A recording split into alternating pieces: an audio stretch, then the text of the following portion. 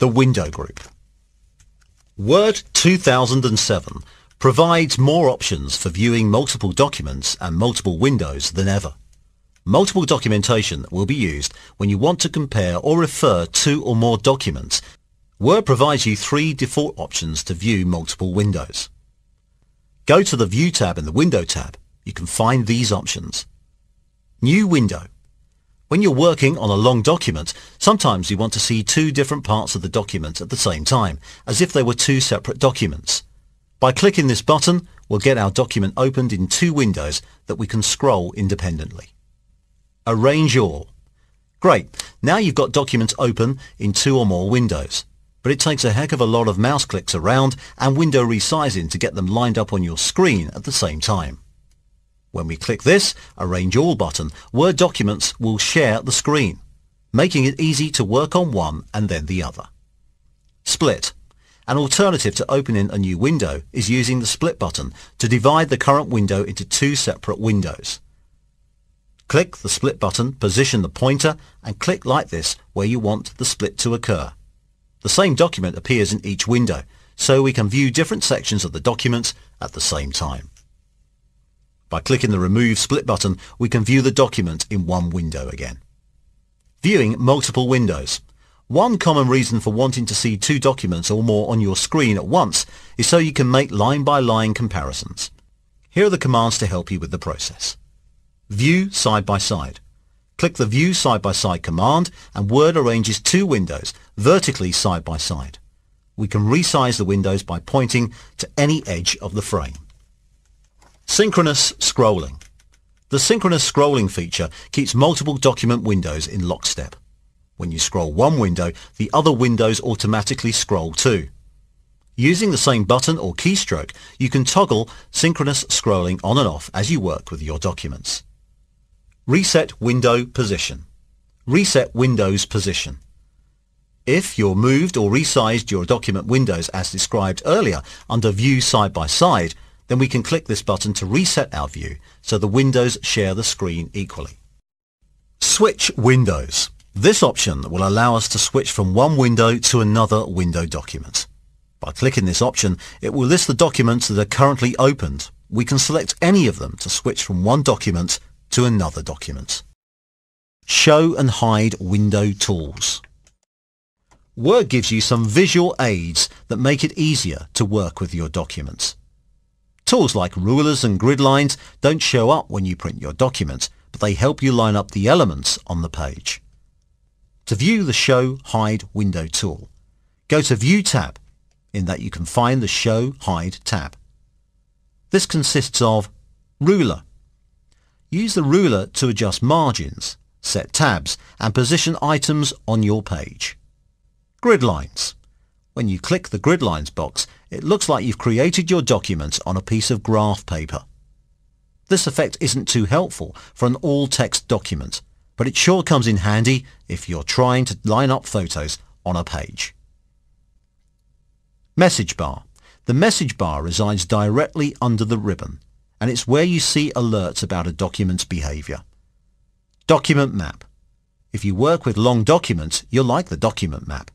This useful tool appears to the left of your text, showing the document's headings at various levels. Click the document map, which displays your mapped document dialog box. By clicking a heading, you can jump to that location in your document. Thumbnails. Select the Thumbnails option and you see little icons of your document's pages in the bar on the left. Click a thumbnail to go to that page. In general, thumbnails are more useful for shorter documents and for pages that are visually distinctive. Zooming options. When you're working, do you ever find that sometimes you stick your nose close to the page to examine the details? Word's zoom options let you do the same thing with your screen, but without looking nearly as silly. To work with zooming options, on the View tab, click the big magnifying glass to open the Zoom dialog box. Depending on your current document view, you can adjust your view by percentage or relative to the page and text. More on that in a moment. Zooming by percentage. On the Zoom dialog box, you find controls to zoom in and out of your document by percentage. The view varies depending on your computer screen and settings, but in general 100% is respectable. The three radio buttons, 200%, 100% and 75%, give you quick access to some standard settings. For in-between percentages like 125%, type a number in the box below the buttons or use the up and down arrows to change the value. Here I am setting 125% to this document. For a quick way to zoom in and out without opening a dialog box, use the zoom slider in the bottom right corner of your window. Drag the slider to the right to zoom in on your document and drag it to the left to zoom out. The percentage changes as you drag. Zooming relative to page or text. Go to View tab. In that, click the magnifying glass icon which displays Zoom dialog box with four radio buttons with plain zoom settings. They are Page Width, this button will resize the page to fill the screen from one side to the other. It's the fastest way to zoom to a text size that most people will use. Text width. This button zooms in even farther because it ignores the margins of your page.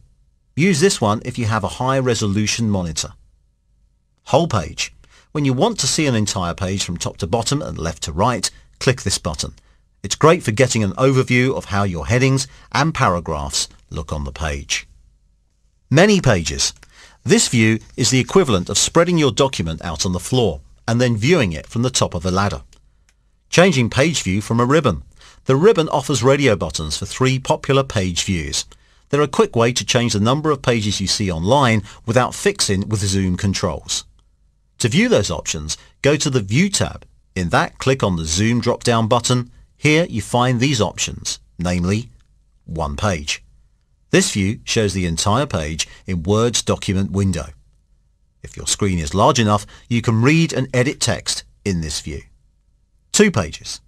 In this view, you see two pages side by side. This view is handy when you're working with documents that have two-page spreads, like booklets. Page width. This button does exactly the same thing as the page width button in the Zoom dialog box. It's more readable than the one-page and two-page options because the page fills the screen from edge to edge, making the text appear larger.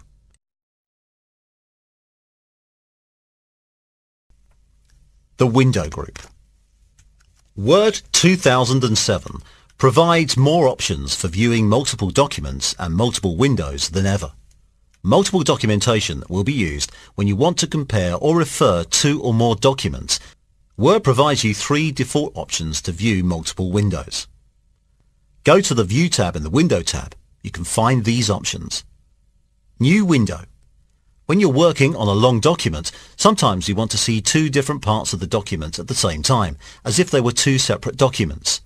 By clicking this button, we'll get our document opened in two windows that we can scroll independently. Arrange all.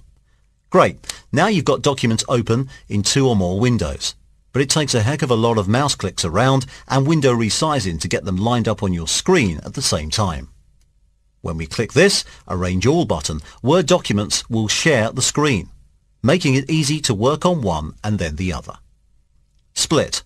An alternative to opening a new window is using the Split button to divide the current window into two separate windows. Click the Split button, position the pointer, and click like this where you want the split to occur. The same document appears in each window, so we can view different sections of the document at the same time. By clicking the Remove Split button, we can view the document in one window again. Viewing multiple windows. One common reason for wanting to see two documents or more on your screen at once is so you can make line-by-line -line comparisons. Here are the commands to help you with the process. View side by side. Click the View side by side command and Word arranges two windows vertically side by side.